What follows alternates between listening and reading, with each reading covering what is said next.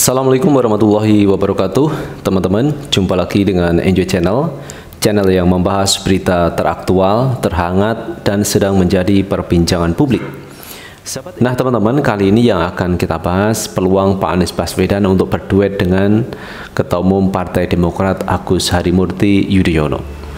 Dan ini saya pikir sangat realistis teman-teman. Kenapa? Pak Anies punya elektabilitas yang tinggi Sementara AHY saat ini belum menunjukkan elektabilitasnya itu tinggi. Jadi, perkawinan antara AHY dan Anies ini sangat mungkin terjadi. Karena dua-duanya punya kekuatan yang ini tidak bisa kita anggap enteng, teman-teman. Pertama, Pak Anies e, pernah menjadi gubernur DKI Jakarta, memimpin wilayah Jakarta karena Jakarta adalah barometernya Indonesia. Ini Pak Anies Baswedan punya pengalaman memimpin Jakarta. Sedangkan AHY punya pengalaman adalah memimpin sebuah partai yang cukup besar, yaitu Partai Demokrat. Karena bagaimana juga teman-teman, Partai Demokrat pernah dulunya adalah pemenang pemilu. Ini sesuatu yang capaian yang luar biasa. Nah, kalau keduanya digabung, ini kan menjadi kekuatan yang saya pikir sulit untuk dikalahkan eh, pasangan AHY dan uh, Anies Baswedan. Tentu saja kita berharap Pak Anies menjadi capresnya, kemudian cawapresnya adalah Agus Harimurti Yudhoyono. Kemudian kemarin ada kabar bahwa peluang Pak Anies didukung oleh Partai Nasdem itu juga cukup besar. Karena Nasdem waktu menjadi ormas, ini Pak Anies Baswedan salah seorang pendirinya. Jadi saya melihat bukan orang lain bagi Nasdem terkait Pak Anies Baswedan ini. Dan ini menjadi peluang yang cukup besar bagi Partai Nasdem untuk mengusung Pak Anies Baswedan. Karena bagaimanapun juga teman-teman, Pak Anies ini belum punya partai politik. Maka salah satu cara adalah dengan menggandeng partai politik yaitu dengan Partai Nasdem. Lalu bagaimana teman-teman peluang kalau Pak Anies ini diduetkan dengan Agus Harimurti Yudhoyono? Kita akan baca berita teman-teman dari wartaekonomi.co.id. Nasdem, Demokrat, PKS calonkan Anies AHY. Pengamat komunikasi politik Jamiluddin Ritonga menyebut Partai Nasdem bakal menang jika berkoalisi dengan dua parpol pada 2024 mendatang. Kedua parpol itu bisa membantu Nasdem mendulang suara pemilih.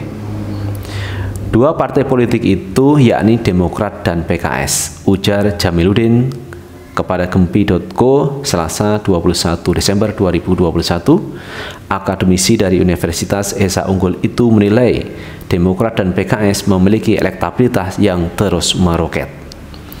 Jamiluddin juga membeberkan sosok pasangan yang tepat untuk bersanding bersama Gubernur DKI Jakarta Anies Baswedan di Pilpres 2024. Nasdem disebut-sebut ingin mengusung Anies sebagai Capres 2024.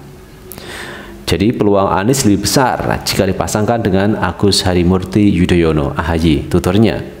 Duet ini dinilai sangat kompetitif untuk bertarung dengan pasangan lain di Pilpres 2024. Oleh karena itu, imbuhnya Anies dengan AHY bisa menjadi lawan yang sulit. Duet Anies dengan AHY tampaknya sangat tepat diusung di koalisi tersebut, tegasnya.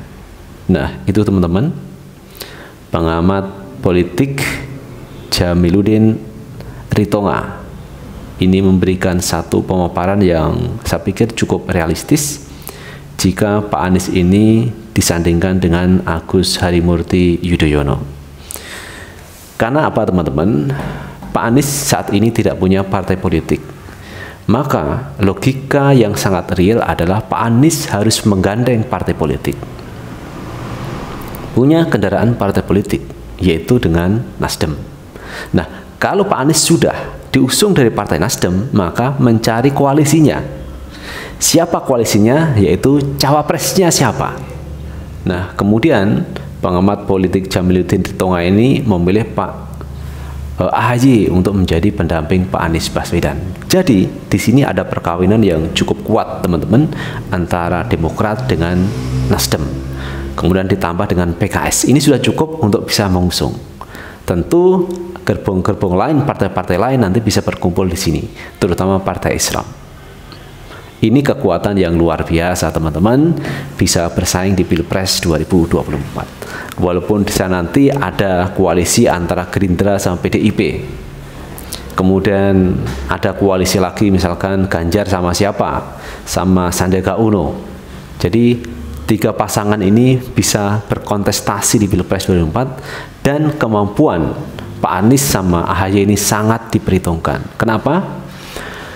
partai-partai atau masyarakat loyalis yang dulu mendukung eh, Prabowo Subianto saya melihat banyak yang kecewa dengan sikap yang diambil Pak Prabowo berkoalisi dengan pemerintahan Jokowi karena loyalis pendukung Pak Prabowo itu menginginkan sebenarnya Pak Prabowo menjadi check and balance berada di luar pemerintahan menjadi oposisi. Itu diharapkan seperti itu. Tetapi nyatanya sikap Pak Prabowo berbeda dengan keinginan dari pendukungnya memilih bergabung dengan pemerintahan Jokowi. Padahal kekuatan partai politik itu sebenarnya kan di masyarakat di di konstituennya, di pendukungnya. Kalau pendukungnya itu menginginkan Pak Prabowo untuk berada di luar pemerintahan, mungkin Gerindra akan menjadi salah satu uh, partai yang dianggap membawa aspirasi untuk 2024 dan sangat memungkinkan Pak Prabowo bisa memenangkan di 2024. Tetapi sayang pilihan Pak Prabowo berbeda dengan uh, keinginan dari pendukungnya. Dan salah satu yang diharapkan sekarang adalah Pak Anies Baswedan. Pak Anies diharapkan untuk bisa maju di Pilpres 2024 dan sekarang sudah menemukan menurut Jamiluddin Ritonga orang yang cocok mendampingi Pak Anies adalah Agus Harimurti Yudhoyono. Ini pasangan yang cukup serasi teman-teman karena dua-duanya masih muda, dua-duanya energik dan Pak Anies Baswedan punya pengalaman pernah menjadi gubernur DKI Jakarta dan AHY punya pengalaman memimpin partai besar Partai Demokrat. Ini kemampuan duet yang luar biasa. Nah, bagaimana dengan Pak e, Gatot Nurmantio? Pak Gatot Nurmantio itu baik. Pak Gatot itu dekat dengan umat Islam. Pak Gatot punya kemampuan, punya pengalaman sebagai e, Panglima TNI, punya pengalaman di sana. Tetapi satu lagi teman-teman, kekurangan Pak Gatot adalah Pak Gatot tidak punya partai politik. Itu yang menjadi kekurangan dari Pak Kadut Nurmantio. Jika Pak Kadut itu punya partai politik, wow ini sangat menarik teman-teman kalau pasangan Anies Pak Kadut ini luar biasa. Nah, yang sekarang dibutuhkan adalah partai politik itu yang sangat memungkinkan. Walaupun hari-hari ini Pak Kadut Nurmantio mengajukan judicial review terkait ambang batas presiden.